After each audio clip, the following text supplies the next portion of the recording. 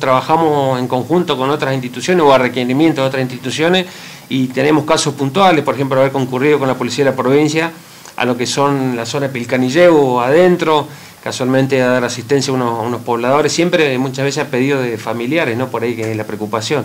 Y también la presencia activa, lo que fue en la zona de Yanquín, también que hemos ido varias oportunidades a dar una mano ahí con la Comisión de Fomento. Así que son innumerables las tareas diariamente por ahí, inclusive ahora tenemos otro requerimiento que una patrulla se está listando para ir para la zona. Así que la idea es esto, es, sumar y muchas veces priorizar, ¿no? Lo lógico es que no, no damos abasto muchas veces por ahí, pero bueno, priorizamos más que nada la vida de las personas. ¿Hay muchos casos de personas aisladas en, distintos parajes? Sí, se presenta eso, ¿no? Que eh, es la preocupación diaria del familiar que después de varios días no tener comunicación, por ahí, por supuesto, entra la preocupación lógica, así que bueno, ahí estamos nosotros con otras instituciones viendo la forma de contactarlo bueno, y asistirlo. Hablaba recién de que va a ir a, cubrir una emergencia ahora a las 11. Eh, sí, sí, sí, estábamos alistando una de las motonieves, casualmente nosotros Gendarmería cuenta acá con una unidad especializada que es la, con la parte montaña, de esquí, que casualmente hay un centro de capacitación acá también, así que bueno, con esta gente casualmente están coordinando eso como para ir a hacer la asistencia.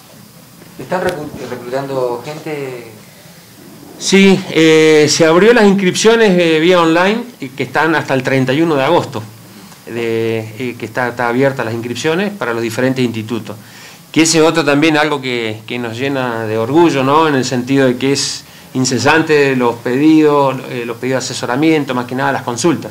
Así que, pero sí están abiertas hasta el 31 de agosto. Si quiere realizar la invitación, comandante, y alguna línea telefónica o o página web para el que se quiera Sí, hoy por hoy también con esto de las tecnologías eh, se cuenta con una gran ventaja, ¿no? Porque cualquier joven en cualquier lugar eh, puede acceder a la página oficial nuestra de Gendarmería y ahí, ahí están los, diferentes ítems, que más que nada en la parte de reclutamiento, que dice incorporaciones, ahí están todos los requisitos y tiene una especie de preinscripción como para empezar a concursar. Aparte de servir a, a la Argentina, servir a Bariloche, a la provincia, también es una fuente de trabajo.